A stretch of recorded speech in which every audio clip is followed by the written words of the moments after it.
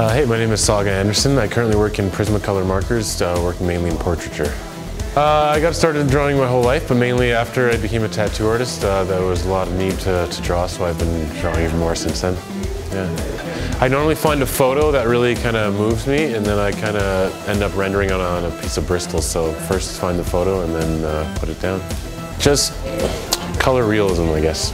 Yeah. I say some other tattoo artists uh, really influenced me a lot uh, and I'd say pop culture a lot. I think the freedom that, that art and tattooing allows me to travel and create and meet lots of people and uh, live the life that I want to live.